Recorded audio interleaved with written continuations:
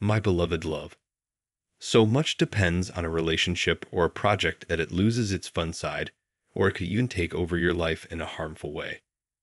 If that is the case, maybe it's time to take steps to even things out.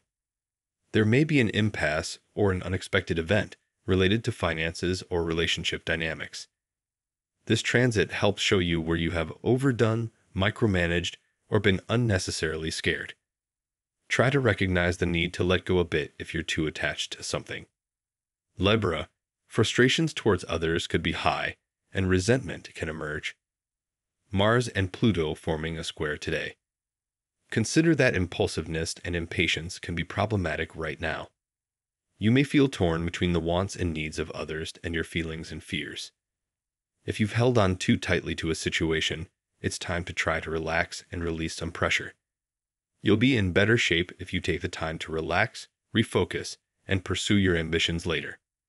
If you have too much to do in all areas of your life, you will feel an imbalance more intensely now, which will cause you to slow down.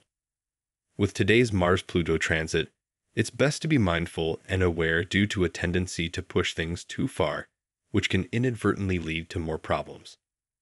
Competition is good for you in moderation, but this transit tends to put pressure on you. Your desire to do something about an unacceptable situation is intense today, making it difficult to walk away from conflict. If you're dwelling on something to your detriment, or if the need to be correct has caused unhealthy tension, it's time to work on strategies to reduce stress. Changes in communications or approaches might help.